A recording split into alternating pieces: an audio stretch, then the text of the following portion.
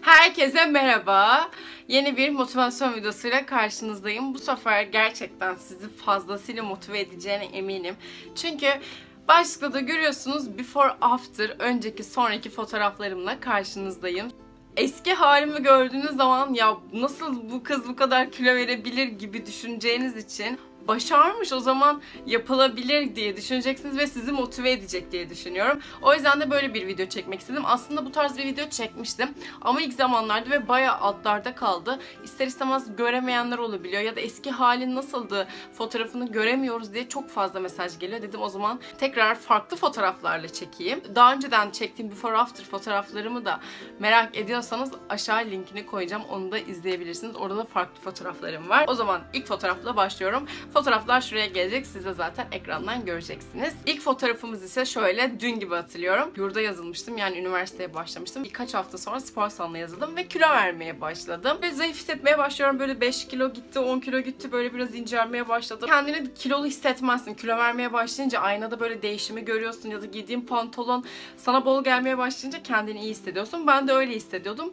Bu fotoğrafta 20 kilo vermiştim. Bakın 20 kilo verdiğim halim böyleydi. Yani 90 kiloydum burada. Ama hala fazlasıyla kilolu bir konumda olacaksın. Daha o 30 kilo vermem gerekiyor gibi düşünüp aslında pes edebilirdim. Ama böyle bir şey yapmadım. O 20 kilo verdiğimde bile kendimi böyle iyi hissediyordum. Yapabileceğime inanıyordum. Orada da koltuğa oturdum ve anneme söylemiştim. Benim fotoğrafımı çeker misin? Nasıl gözüküyorum diye merak ediyorum. Tabii gördüğüm zaman da hani pek aa biraz daha vermem gerekiyor diye düşündüm. Zaten vermem gerektiğini biliyordum. Bile dedim ki evet 20 kilo verdim ama bunun yanına daha da böyle zayıfladığım bir fotoğrafımı koyacağım. Ve sonra ise hedef kiloma ulaşmıştım. Pikniğe gitmiştik arkadaşlarımla. Orada da salıncakta fotoğraf çekilmiştim. Normalde salıncağa asla oturamazdım. Kilolu olduğun zaman zaten salıncağa sığamazsın. İlk işim ikisini birleştirmek oldu. Çünkü aklımdaydı ve gördüğüm zaman o kadar güzel oldu ki dedim emeklerimin karşılığını alıyorum. İsteyince neden olmasın? İstediğin zaman yapabiliyorsun. Önemli olan zamana takılmamak. Ben zamana takılsaydım şu an belki o fotoğrafı çekilemeyecektim.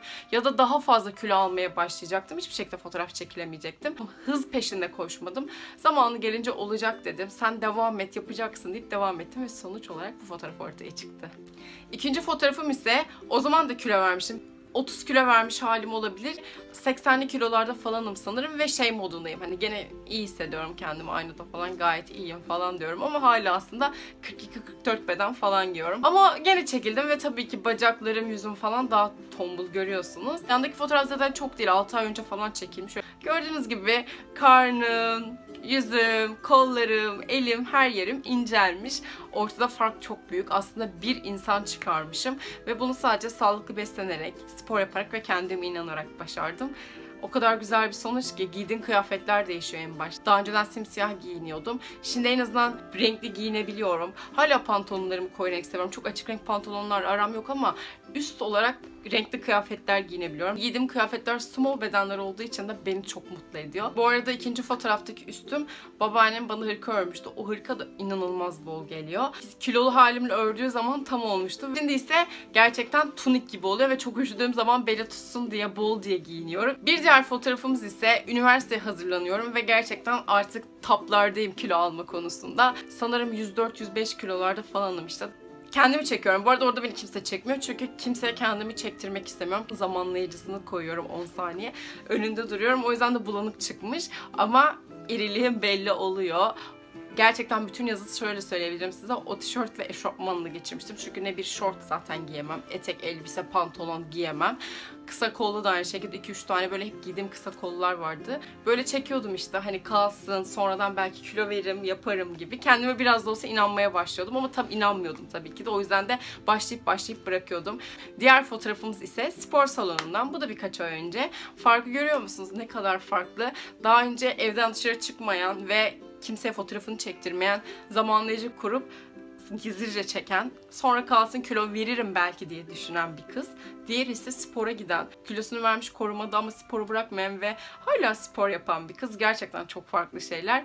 O yüzden önemli olan kendini değiştirebilmek. İstersen 30 yaşında ol, istersen 40 yaşında ol. Sen kendini değiştirmek istersen değiştirebilirsin. Yaşam tarzı anlamında diyorum. Kendini değiştirmek istersen neden değiştiremeyesin? İlla bir yaşam tarzını yıllarca öyle gitti diye sonradan neden değişmesin? Küçüklükten 18-19 yaşına kadar sürekli evde abur cuburlar yiyen, okulda abur cuburlar yiyen, dışarı çıkmak istemeyen kilolu bir çocukluk geçirdim. Ergenlik dönemi geçirdim.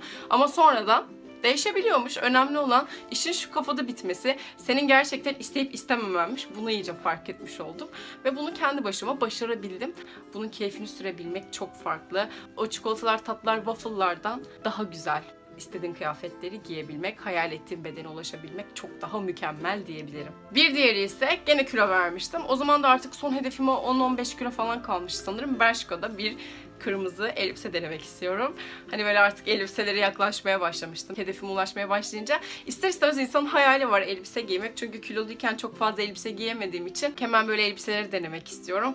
Hayal ettiğim bedene ulaşmaya başlayınca hayal ettiklerimi de gerçekleştirmek istiyorum. Medium'unu denemiştim. Evet üzerimdeki medium ama dar oldu. Dar olduğu için de moralim bozulmuştu ve almak istemedim. Çıktım. Dedim ki biraz daha beklemen gerek. Ve bir buçuk ay sabrettim. Sporuma devam ettim. Şunu demedim. Medium bedene giriyorsun. 40 kilo verdin hala dar oluyor. Sağlıklı beslenmemi bırakmadım, pes etmedim. Dedim ki çok az kaldı hedefine. Vazgeçme, emeklerini karşına alacaksın. Biraz daha sabretmek gerekiyor.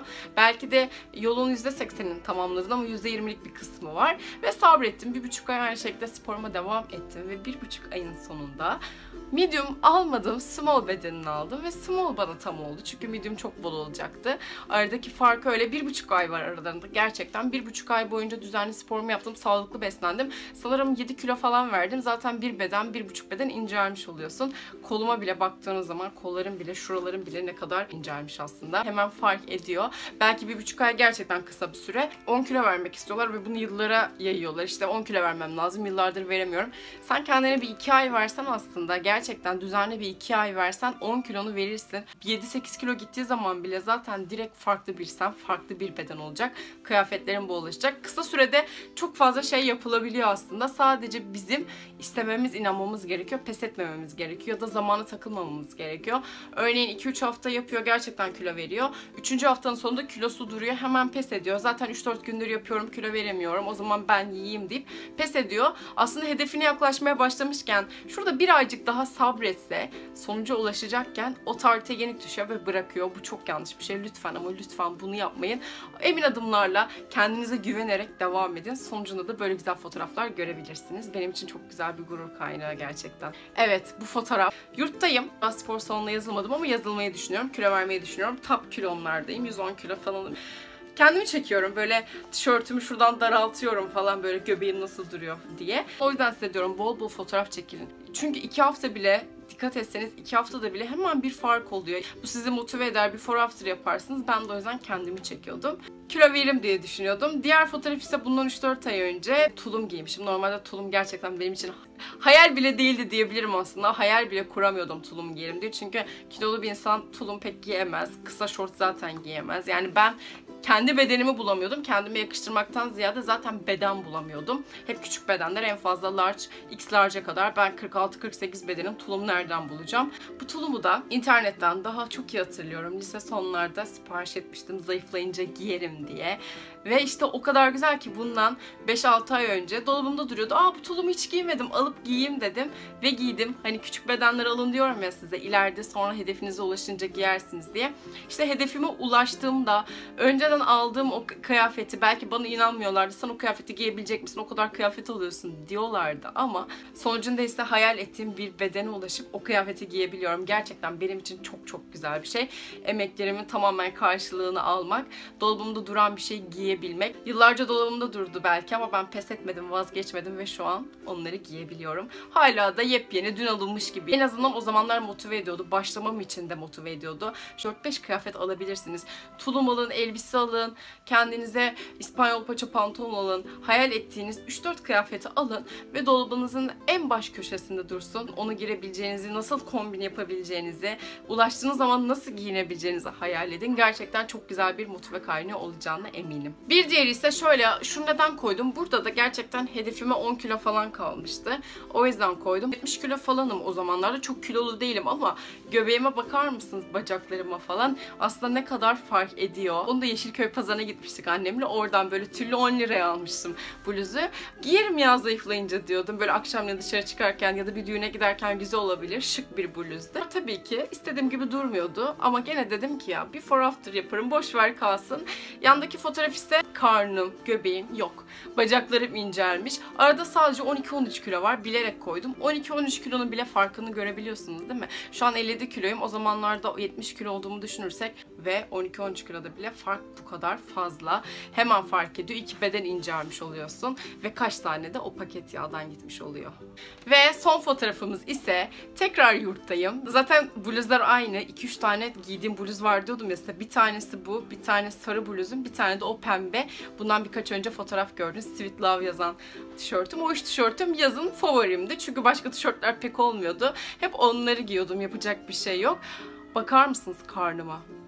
Ne kadar kat kat gerçekten bir 18 yaşındaki kızın karnı diyemezsiniz. O kadar kiloluyum ki karnım kat kat ama yandaki fotoğraf ise bundan 2 ay önce anneciğim gelmişti. Onunla birlikte gezmeye gitmiştik. Elbise giymiştim ve dümdüz duruyorum göbeğim yok. Yani işte bahsetmek istediğim şey bu. Belki ilk fotoğrafı gördüğün zaman şunu diyebilirsin. Ya ben bu göbeğimi nasıl eriteceğim? Kollarımı, bacaklarımı nasıl eriteceğim? Yolum çok uzun ve ben bunu yapamam diye düşünebilirsin. Ama yapılabiliyor. Tek olay her zaman söylüyorum. Sen eğer şu işi kafanda bitirirsen ve sen istersen yapamayacağın hiçbir şey yok. Her şeyi sen değiştirebilirsin. Kendin için değiştirebilirsin. Tek yapman gereken şey emek etmek ve istemek. Ben de emek ettim, istedim, inandım ve farkım ortada. Böyle güzel bir fark yarattım. Tamamen karnım, göbeğim, bacaklarım gitti, yüzüm inceldi, parmaklarım bile inceldi. Size gerçekten öyle söyleyebilirim. Önceden annemin yüzüğünü takamazdım. Şimdi annemin yüzüğü bana bol bile geliyor. 50 kilo fark var. Göbeğim tamamen eridi. Ben zamana takasaydım ben bunu yapamam. Yolum çok uzun. Bu göbeğim nasıl eriyecek? Bu kadarım. Çok fazlayım deyip bıraksaydım aslında evet tamamen bırakırdım ve belki o kilodan daha da fazla gidecektim hiçbir şekilde çıkış yolu bulamayacaktım ama çıkış yolunu kendimde buldum. 110 kiloyum belki siz benden daha az kiloda olabilirsiniz. O yüzden başlayın. 30, 40, 50 kilo hiç fark etmez. Önemli olan istemek, inanmak. Kimisi 5 kiloya bile veremiyor. Çünkü istemiyor, inanmıyor ama kimisi istiyor, inanıyor. 50, 60, 70 kilo bile verebiliyor. İş sende bitiyor, güç sende. Her zaman söylüyorum. Motive edecek, kendine inanacak olan sensin. Gücü kendinde bulacak olan da sensin. Böyle before after fotoğraflarıyla size motivasyon sağlamak istedim şu Ramazan ayında. O yüzden hiçbir şekilde kendinizi, umudunuzu yitirmeyin. Her zaman bir umut var. Yeniden bir güneş doğuyor ve yeni bir gün başlıyor. Hala başlamadıysan yarın başlayabilirsin. Yeter ki kendine inan ve gücünü keşfet. Sonucu harika olacak. Böyle birazcık iş dökmeli oldu. Bakın önceki ben ne kadar farklıymışım. Şu anki ben ne kadar farklıyım. Hem beden olarak hem de yaşam tarzı olarak çok farklı bir bendim. Ben bunu başardıysam, yapabildiysem senin hiçbir eksiğin yok. Sen benden daha iyisini bile yaparsın. Yeter ki iste sporuna git. Kendini seviyorsan kendi sağlığın için bir şey yap. İnanırsan, istersen başaracaksın. Hiçbir şey, hiç kimse sana engel olamayacak. Umarım hoşunuza giden bir video olmuştur. Beni izlediğiniz için çok teşekkür ederim. Sizleri seviyorum. Kendinize çok iyi bakın. Hoşçakalın.